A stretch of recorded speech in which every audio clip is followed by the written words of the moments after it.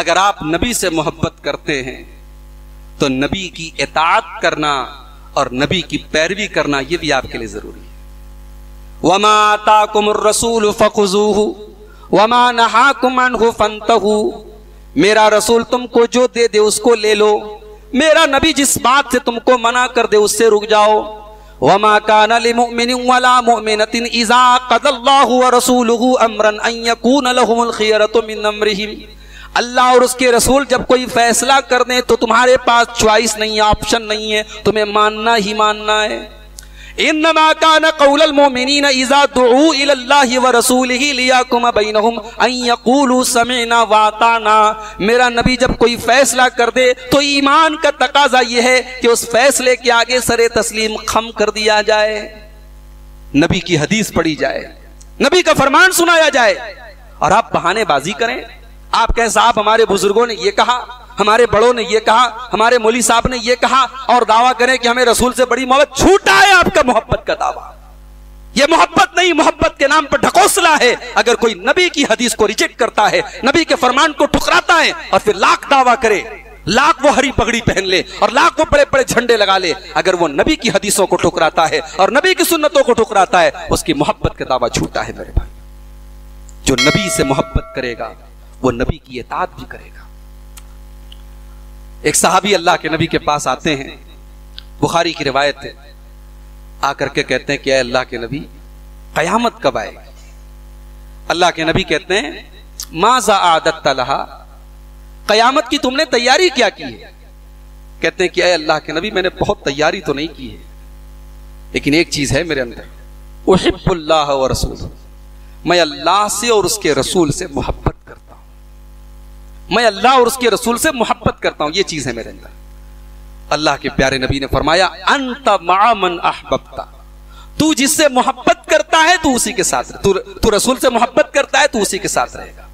अनस बिन मालिक रज़ी अल्लाह ताला ने इस हदीस को बयान करने के बाद कहते हैं कि मैं ज़िंदगी में कभी उतना खुश नहीं हुआ था जितना खुश मैं नबी की ज़ुबान से ये अल्फाज सुनकर के हुआ, अंत मामन अहबता कि तू जिससे मोहब्बत करता है, उसी के साथ रहेगा तो नबी से जो मोहब्बत करेगा वो नबी के साथ रहेगा।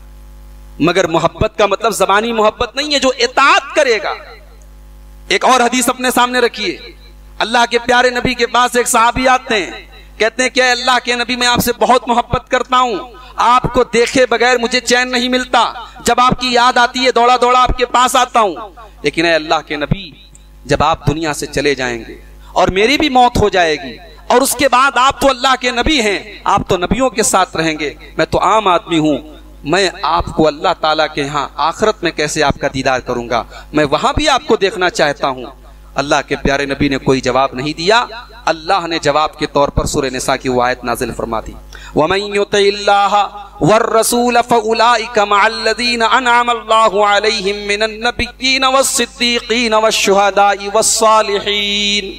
जो अल्लाह की इतात करेगा, जो रसूल की इतात करेगा, वो अल्लाह ताला के नबियों के साथ रहेगा, वो सिद्दीकीन के साथ रहेगा, वो शुहदा के साथ रहेगा, वो सालिहीन के साथ रहेगा। नबी का साथ वही पाएगा। लोग कहते ना, सरकार का दामन थाम लेंगे। सरकार का दामन कौन थामेगा? सरकार का दामन वो थामेगा जो सरकार की इतात करेगा। साहबा को देखो, मैं दो तीन वाकयात सुना देता हूँ, हमारी माए बहनें भी आई हैं।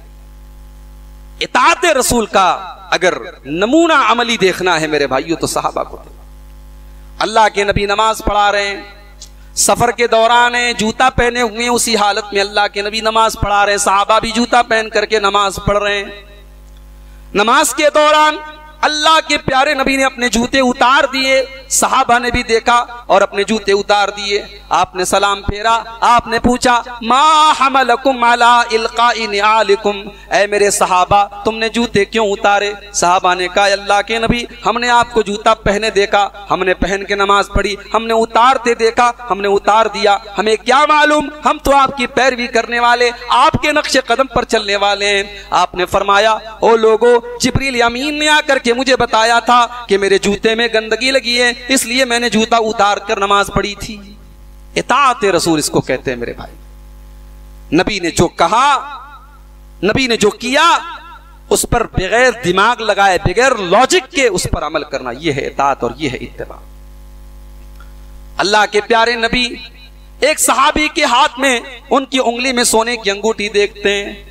आपने फरमाया में मिला जमरती मिनन्नार ये सोने की अंगूठी, ये जहन्नम का अंगारा तुम पहन करके क्यों चल रहे हो? आपने अंगूठी निकाल के ज़मीन पर फेंक दी, और अल्लाह के नबी चले गए। साहबा ने उनसे कहा, सोने की अंगूठी है, इस्तेमाल कर लो, फ़ायदा उठा लो। साहबी कहते हैं, जिस चीज़ को अल्लाह के प्यारे नबी ने फेंक दिया हो, मैं उसको दोबारा छूना और टच करना गवारा नहीं करता। यह है इतबा रसूल, और यह है इतात रसूल। मुगीरा इब्ने शोभा कहते हैं मेरी एक रिश्ता तय हुआ एक अंसारी लड़की के साथ। रिश्ता तय हुआ एक अंसारी लड़की के साथ। अल्लाह के प्यारे नबी के पास में गया। नबी ने पूछा, अय मुगीरा, क्या तुमने शादी का इरादा किया? है हाँ अल्लाह की नबी। फला, लड़की से मैं शादी करना चाहता हूँ। आपने पूछा नज़र इलाहा, क्या तूने लड़की को देखा है? क्या तूने अपनी होने वाली बीवी को देखा है? नहीं नहीं, मैंने देखा तो नहीं। आपने फरमाया, जाओ, एक बार देख लो। शादी के पहले अपनी होने वाली बीवी को एक नज़र देखने की शरीयत ने इजाज़त दी है। आज के जमाने में फ़ोटो से काम चल सकता है, फ़ोटो के ज़रिए भी देखा जा सकता है। लेकिन रियल में भी अगर कोई देखना चाहे तो एक बार देखने की इजाज़त है। नबी अकरम ने कहा, देख लो, यहाँ साहब सारा खानदान लड़की देखने जाता है, लड़का नहीं देख सकता है, उसके लिए जुर्म है। हमारे यहाँ इफरात और तफरीत दोनों मौजूद है। कहीं तो साहब बगैर शादी के लड़का लड़की साथ में घूम रहे हैं और कहीं इतनी सख्ती है कि लड़के का बाप देख रहा है, लड़के का बहनोई देख रहा है, लड़के के घर के खानदान के लोग जाकर के लड़की देखने गए हैं, लेकिन लड़के को लड़की की शक्ल नहीं दिखाई जाती। और बाद में जो है वो, आजकल तो मेकअप का ऐसा जमाना है, रहता कुछ है और दिखता कुछ है। बाद में अगर गड़बड़ कोई मामला निकला तो कहता है कि तू ही शादी करके लाए, अपनी माँ से कहता, तूने मुझे फंसाया। तो अल्लाह के नबी ने हज़रत मुगीरा से कहा, जाओ एक बार देखो। मुगीरा अपने शोभा आए। इब्ने माजा की रिवायत है, सही रिवायत। आए और लड़की के बाप से कहा कि मैं देखना चाहता हूँ, आपकी बेटी को मुझे अल्लाह के नबी ने इजाज़त दी। हदीस के अल्फाज फकानुमा करिहा लड़की के माँ बाप को यह बात बड़ी नागवार गुजरी। अल्लाह यानी वो समाज कैसा था मेरे भाई?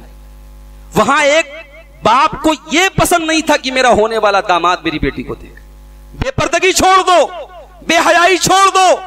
बेटी चेहरा खोल के शॉपिंग मॉल में जाए, ये तो तस्वुर ही नहीं हो सकता था उस मुआशरे में। वो तो इतनी गैरत वाला मुआशरा था, इतनी हया वाला मुआशरा था कि होने वाला दामाद कह रहा है कि मैं देखना चाहता हूँ अपनी बीवी को तो ससुर कह रहा है, नहीं, मैं तुमको इजाज़त नहीं दे सकता। ससुर और सास को यह बात बड़ी नागवार गुजरी। लेकिन अंदर लड़की ने जब ये सुना कि ये मुगीरा इतने शोभा अल्लाह के प्यारे नबी की इजाज़त लेकर के आए हैं तो वो कहती है कि मेरे माँ बाप को नापसंद है। मेरे बाबा, मेरे माँ बाप राज़ी नहीं है, मगर इनका न अमर रसूल फंजुरनी।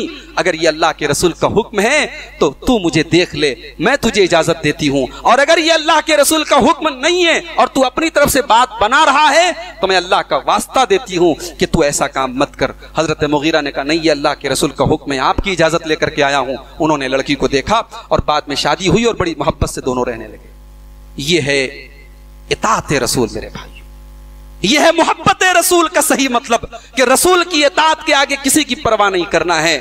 आज हम बड़े कुरान हदीस पर चलने का दावा भी करते हैं, मगर लेन देन का मामला हो शादी ब्याह का मामला हो, वहाँ हम रस्म रिवाज को फॉलो करते हैं, वहाँ हम समाज की परवाह करते हैं, वहाँ हमारी माए बहनें कहती हैं, लोग क्या कहेंगे? लोगों लोगों के कहने पर हम अल्लाह के रसूल की सुन्नत को छोड़ देते हैं। मेरे अजीजों, मेरे भाइयों, मोहब्बत रसूल का ये तीसरा तकाजा है कि हम अल्लाह के रसूल की इतात करें, आपकी इतवा करें। आपकी हदीस के आने के बाद इफ़ एंड बट नहीं होना चाहिए। आपका फैसला आने के बाद शरीयत के मामले में अल्लाह के नबी सुप्रीम कोर्ट है। आपके ऊपर कोई कोर्ट नहीं है। आप जो फैसला कर दें, उसके आगे सरे तस्लीम खम करना है। कुरान में अल्लाह ने अपनी कसम बहुत कम जगहों पर खाई है, उसमें से एक मकाम ये भी है। अल्लाह ने सुरह निसा के अंदर फरमाया, फला वरबी कला कफीमा शजर ए नबी, आपके रब की कसम ये लोग मोमिन नहीं हो सकते जब तक अपने तमाम इख्तलाफात में ए नबी, आपके फैसले को तस्लीम न कर लें। आज उम्मत में इख्तलाफ है। आज रबी का महीना आया बड़ा इख्तलाफ है। आज आजकल फेसबुक पर जो है एक पोस्टर बहुत बहुत वायरल हो रहा है। एक साफ़ पोस्टर लगा रहे पोस्टर पे लिखा है, वहाबी और आगे का जो लफ्ज है वो मैं मैं तकरीर में नहीं बोल सकता, मुनासिब नहीं है। गाली लगाई गई है वहाबी के लफ्ज के साथ। और बाजू में मदीना की तस्वीर भी बनी है गुंबद खजरा की तस्वीर बनी है। जिस नबी ने अपने दुश्मनों को कभी गाली नहीं दी, जिस नबी ने गाली का जवाब कभी गाली से नहीं दिया आज उस नबी का नाम लेकर और उस नबी के मदीना की तस्वीर लगाकर तुम किसी दूसरे मसलक को गाली दे रहे हो मेरे भाई? शर्मानी चाहिए चुल्लू भर पानी में डूब मरना चाहिए हमें। हम मोहब्बत रसूल के नाम पर यह गंदगी फैला रहे अल्लाह हम सब पर अपना रहम फरमाए मेरे भाई। आज अपने इख्तलाफात को हल कर लो, आओ। डंके की चोट पर कहता हूँ, न मैं सही, न तुम सही। आओ कसौटी बना ले हम नबी की हदीसों को। आओ कसौटी बना ले सुन्नत रसूल और हदीस रसूल को।